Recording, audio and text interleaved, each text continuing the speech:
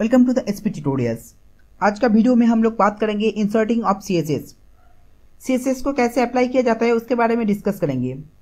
C S S को apply करने के लिए तीन तरीका फॉलो किया जाता है। There are three ways of inserting C S S जो तीन तरीका है, उसमें से फ़र्स्ट जो तरीका है, वो है inline CSS inline inline S जो यूज़ किया जाता है, उसको हम लोग H T M L element के अंदर यूज़ करते हैं, जो कि एक लाइन पे यूज़ करते हैं हम लोग। उसके बाद आता है इंटरनल सीएसएस इंटरनल सीएसएस को यूज़ किया जाता है एचटीएमएल का जो हेड सेक्शन है, उसके अंदर स्टाइल नाम का एक टैग लिया जाता है, उसके अंदर इंटरनल सीएसएस को यूज़ किया जाता है। उसके बाद एक्सटर्नल सीएसएस एक्सटर्नल सीएसएस को यूज़ किया जाता है एचटीएमएल डॉक्यूमेंट के बाहर में। कोई भी अलग से एक सीट लिया जाता है, उसको यूज़ करके हम लोग एक्सटर्नल सीएसएस को यूज़ करते हैं। अब डिफाइन करेंगे इनलाइन सीएसएस कैसे यूज़ होता है। इनलाइन जो सीएसएस है इनलाइन सीएसएस को हम लोग इसलिए यूज़ करते हैं ताकि ये चेंज कर सकते हैं कोई भी वन स्पेसिफिक एच एलिमेंट को। मतलब अगर मान लीजिए कोई भी एच डॉक्यूमेंट में एक एलिमेंट है, एक हेडिंग टैग है। हेडिंग टैग के अंदर अगर उसी स्पेसिफिक हेडिंग टैग को अगर हम लोग स्टाइल देना चाहते हैं तो इसके लिए हम लोग इनलाइन सीएसएस का इस्तेमाल करेंगे। उसके लिए हम लोग हेडिंग टैग के अंदर एक स्टाइल एट्रीब्यूट डालेंगे। स्टाइल एट्रीब्यूट लेने के बाद उसका प्रॉपर्टी और वैल्यू को हम लोग सेट करेंगे। उसके बाद जो हेडिंग टैग है, उसका स्टाइल चेंज हो जाएगा। It is use to apply a unique style for a single element inline CSS हम लोग इसलिए अप्लाई करते हैं क्योंकि ये यूनिक स्टाइल देता है एक सिंगल एलिमेंट के ऊपर। अगर कोई भी एच डॉक्यूमेंट रहता है, उसके ऊपर कोई भी सिंगल एलिमेंट को अगर हम लोग फॉर्मेटिंग करना चाहते हैं तो उसके लिए हम लोग इनलाइन सीएसएस का इस्तेमाल करेंगे। इसका एग्ज़ाम्पल क्या है? आप लोग यहाँ पे देख पा रहे हैं जो एग्ज़ाम्पल है, यहाँ पे एक एच वन टैग लिया गया है। एच वन टैग के अंदर लिखा है, देखिए डीसी से हेडिंग डीसी से हेडिंग जो लिखा हुआ है, आप लोग यहाँ पे देख पा रहे हैं। ये हेडिंग टैग के ऊपर जो स्टाइल अप्लाई किया गया है, वो एच वन टैग के जब स्टार्टिंग किया गया है, वहाँ पे एक स्टाइल टैग को लेके, यहाँ पे प्रॉपर्टी और वैल्यू को देके यहाँ पे स्टाइल को अप्लाई किया गया है, जो कि HTML एलिमेंट के अंदर है, जो इनलाइन सीएसएस बोला जाता है इसको, क्योंकि ये एक ही लाइन के अंदर यूज़ किया गया है, इसलिए इसको इनलाइन सीएसएस बोलता है। तो चलिए एग्ज़ाम्पल लेके दिखाते हैं। नोटपैड प्लस प्लस को हम लोग यहाँ पे ओपन किए हैं। आप लोग देख पा रहे हैं यहाँ पे जो बॉडी सेक्शन है बॉडी सेक्शन के अंदर एक पैराग्राफ टैग मैं यहाँ पे लिया हूँ। अब हम लोग यहाँ पे क्या करेंगे? इनलाइन सीएसएस का इस्तेमाल करेंगे। इसका यूज़ करने से पहले मैं यहाँ पे रन कर देता हूँ क्रोम पे। क्रोम पे रन करने के बाद आप यहाँ पे देख पा रहे हैं डीसी से पैराग्राफ लिखा हुआ है, जो यहाँ पे पैराग्राफ टैग में लिखा हुआ था। अब यहाँ पे क्या करेंगे हम लोग? यहाँ पे जो पी है मतलब पैराग्राफ है, इसमें हम लोग इनलाइन सी एस एस का इस्तेमाल करके स्टाइल यूज़ करेंगे। तो इसके लिए देखिए जो पी टैग स्टार्ट हुआ है, उसके अंदर हम लोग लिखेंगे स्टाइल उसके बाद इक्वल साइन दे के डबल इन्वर्टेड कॉमा के अंदर हम लोग क्या करेंगे? स्टाइल का जो प्रॉपर्टी है और उसका वैल्यू है, उसका इस्तेमाल करेंगे। देखिए, मैं यहाँ पे दूँगा कलर कलर मैं यहाँ पे दे देता हूँ ग्रीन ग्रीन देने के बाद मैं यहाँ पे रिफ्रेश कर देता हूँ। आप लोग देख पा रहे इसका जो कलर है ग्रीन हो गया है। शायद आप लोगों को नहीं दिख रहा है, इसके लिए मैं यहाँ पे फॉन्ट साइज़ सेट कर देता हूँ। फॉन्ट साइज़ मैं यहाँ पे 50 पिक्सल कर देता हूँ। उसके बाद मैं यहाँ पे रिफ्रेश कर देता हूँ। आप लोग देख पा रहे हैं, यहाँ पे जो फॉन्ट साइज़ है 50 पिक्सल हो गया है। और इसका जो कलर है, कलर ग्रीन हो गया है। तो आप लोग देख पा रहे हैं यहाँ पे जो मैं पी टैग लिया था, जो पैराग्राफ है पैराग्राफ के अंदर मैं यहाँ पे एक स्टाइल अप्लाई किया हूँ। इसको बोला जाता है इनलाइन सीएसएस मतलब कोई भी एक स्पेसिफिक एच एलिमेंट के अंदर अगर हम लोग कोई भी स्टाइल अप्लाई करेंगे तो उसको बोला जाता है इनलाइन सी अब हम लोग बात करेंगे इंटरनल सी के बारे में। देखिए इंटरनल सी क्या होता है? इंटरनेट इंटरनल जो CSS होता है, उसको हम लोग यूज़ करेंगे हेड सेक्शन के अंदर।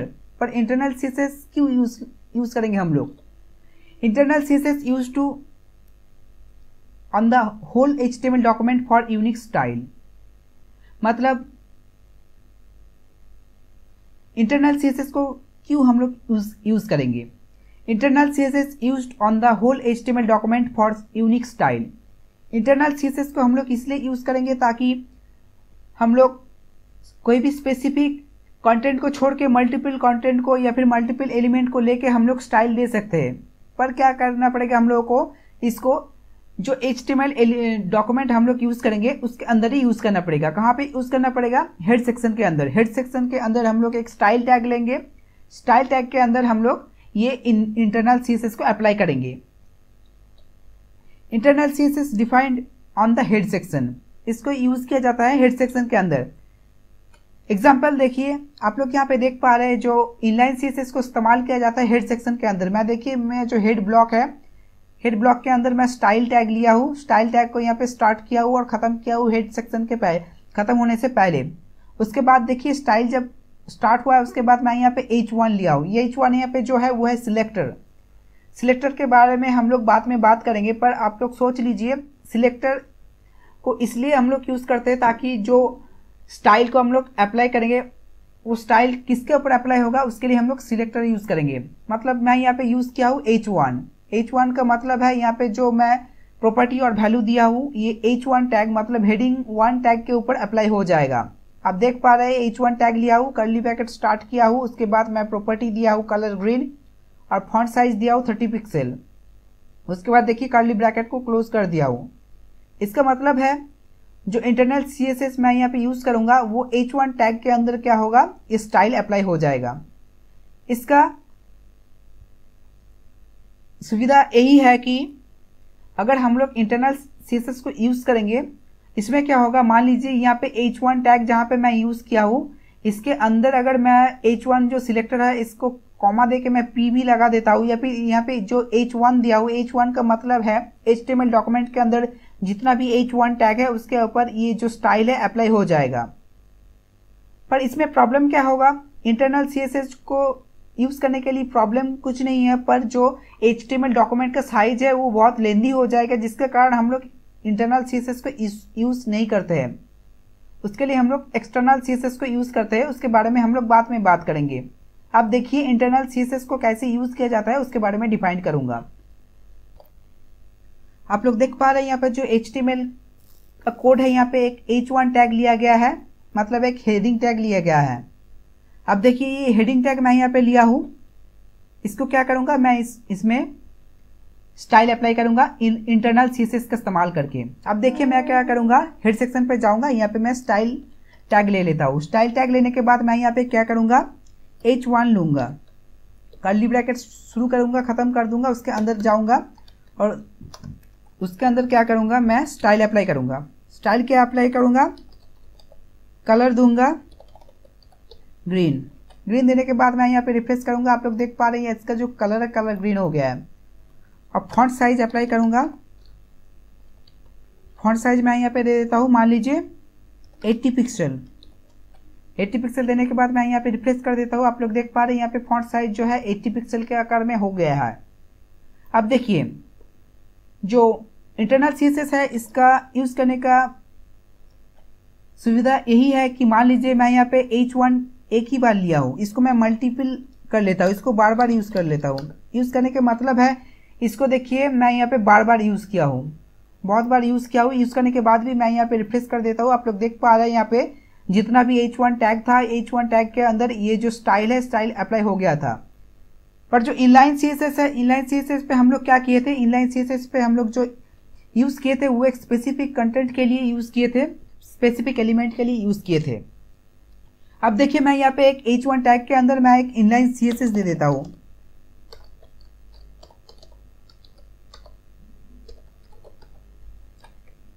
देखिए, मैं यहाँ पे दे देता हूँ कलर रेड करने के बाद देखिए, मैं रिफ्रेश कर दिया हूँ, यहाँ पे देखिए कलर रेड हो गया है।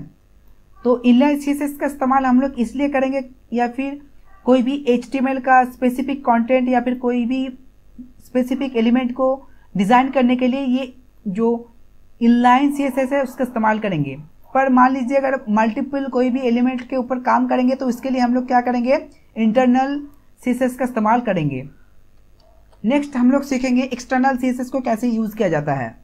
एक्सटर्नल सी को किस लिए हम लोग यूज़ करेंगे? Using external C we can change the style of entire website using one sheet external C को इसलिए हम लोग यूज़ करेंगे ताकि एक ही पेज को यूज़ करके हम लोग पूरा वेबसाइट को स्टाइल चेंज कर पाएँगे। Each HTML page must include a reference of external CSS sheet using link element. HTML page के अंदर एक्सटर्नल सीट को जब हम लोग यूज़ करेंगे, हम लोग को एक लिंक एलिमेंट डालना पड़ेगा। ये जो लिंक एलिमेंट है, ये रेफरेंस करेगा, जो सी एस एस सीट हम लोग एक्सटर्नली यूज़ करेंगे, उसको रेफरेंस करेगा। मतलब उसको लिंक करेगा। जो मेन एचटीएमएल पेज है, वो लिंक करेगा सी एस एस सीट को। मतलब बाहर में जो सी एस एस हम लोग स्टाइल अप्लाई करेंगे, वो लिंक रहेगा एचटीएमएल पेज के अंदर। उसके बाद क्या होगा, जो भी एक्सटर्नल सी एस एस के अंदर हम लोग जो भी स्टाइल अप्लाई करेंगे, वो लिंक होके ऑटोमेटिकली HTML का डॉक्यूमेंट के ऊपर अप्लाई हो जाएगा। तो एग्ज़ाम्पल देखिए। मान लीजिए, ये एक HTML डॉक्यूमेंट है। HTML डॉक्यूमेंट पे अगर मैं स्टाइल अप्लाई करना चाहूँगा तो इसके लिए मान लीजिए मैं यहाँ पे एक एक्सटर्नल सीएसएस फ़ाइल को क्रिएट किया हो। क्रिएट करने के बाद इसको क्या करना पड़ेगा? ये जो सीएसएस फ़ाइल है एक्सटर्नल जो एक्सटर्नली मैं क्रिएट किया हूँ, जिसका एक्सटेंशन होगा, कोई भी आप नाम देख, दे सकते हैं, उसका एक्सटेंशन होगा डॉट सी उसको आपको क्या करना पड़ेगा? लिंक करना पड़ेगा हेड सेक्शन के अंदर। लिंक कीजिए लिंक जो एलिमेंट है लिंक एलिमेंट को यूज़ करके एच डॉक्यूमेंट के अंदर ये सीएसएस फ़ाइल को लिंक करेंगे। कैसे लिंक करेंगे? एग्ज़ाम्पल देखिए। हेड सेक्शन के अंदर हम लोग क्या करेंगे? एक टैग डालेंगे जो है रिंग लिंक टैग इसका रिलेशन रहेगा स्टाइल सीट टाइप रहेगा text slash C S S और H reference H R E F मतलब रेफरेंस जो रहेगा रेफरेंस पे आपको पैथ देना पड़ेगा। मतलब ये जो सी एस एस फ़ाइल है, ये सी एस एस फ़ाइल कहाँ पे रखा हुआ है, उसका पैथ आपको यहाँ पे इंक्लूड करना पड़ेगा। उसके बाद आप एक्सटर्नल सी एस एस को यूज़ कर पाएँगे। तो चलिए एग्ज़ाम्पल लेके देखते हैं। अब देखिए मैं यहाँ पे क्या करूँगा, यहाँ पे एक्सटर्नल सी एस एस को अप्लाई करूँगा। एक्सटर्नल सी एस एस को अप्लाई करने के लिए क्या करना पड़ेगा? यहाँ पे मान लीजिए जो हेड सेक्शन है हेड सेक्शन के अंदर मैं क्या करूँगा? एक लिंक टैग लूँगा। जिसका रिलेशन है स्टाइल सीट उसके बाद मैं क्या करूँगा? एच आर ई एफ़ दूँगा। मतलब रेफरेंस रेफरेंस क्या रहेगा? रेफरेंस मान लीजिए मैं यहाँ पे दे देता हूँ। My C S S style dot C S S देखिए, जो सी एस एस आप एक्सटर्नल बनाएँगे, उसका नाम देना पड़ेगा और उसका एक्सटेंशन देना पड़ेगा डॉट सी एस एस मान लीजिए मैं यहाँ पे क्या किया हूँ? My C S S style नाम का एक सी एस एस फ़ाइल बनाऊँगा एक्सटर्नल उसको अप्लाई करूँगा, ठीक है?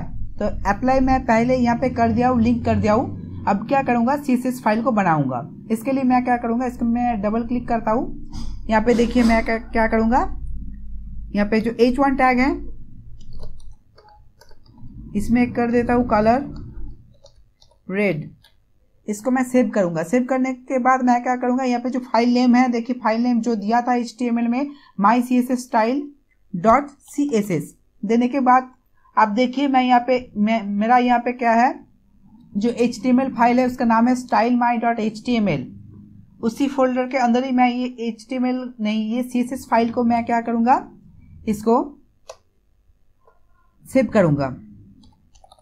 सेव करने के बाद आप लोग देख पाएँगे, यहाँ पे मैं सेव कर दिया हूँ। सेव करने के बाद आप यहाँ पे देख पा रहे हैं, यहाँ पे ये जो एक्सटर्नल लिंक है, यहाँ पे लिंक वो हो गया है। उसके बाद मैं क्या करूँगा, इसको अप्लाई कर दूँगा। अप्लाई करने के बाद आप यहाँ पे देख पा रहे हैं, इसका जो कलर है रेड हो गया है। आप लोग देख पा रहे हैं, यहाँ पे मैं कोई भी लिंक अप्लाई किया था, पर यहाँ पे कोई भी फॉर्मेटिंग या फिर कोई भी स्टाइल अप्लाई नहीं किया हूँ। जो अप्लाई मैं किया हुआ है एक्सटर्नल सीट में। एक्सटर्नल सीट में मैं यहाँ पे अप्लाई करूँगा और यहाँ पे अप्लाई हो जाएगा। और मैं यहाँ पे कलर अप्लाई किया था तो मैं यहाँ पे फॉन्ट साइज़ अप्लाई कर देता हूँ। 100 पिक्सल कर देता हूँ। 100 पिक्सल कर देने के बाद आप रिफ्रेश कीजिए। रिफ्रेश करने के बाद देखिए यहाँ पे जो साइज़ है साइज़ इंक्रीज हो गया है। तो यही है एचटीएमएल और सीएसएस का लिंक ठीक है? कैसे CSS को लिंकिंग किया जाता है, उसके बारे में आज मैं डिस्कस किया हूँ। तो अच्छे से पढ़िए कैसे internal C S S inline C S S external C S S को यूज़ किया जाता है।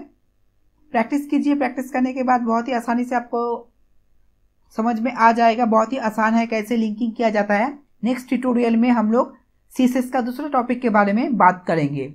तो आज के लिए सिर्फ़ इतना ही। Thank you for watching have a great day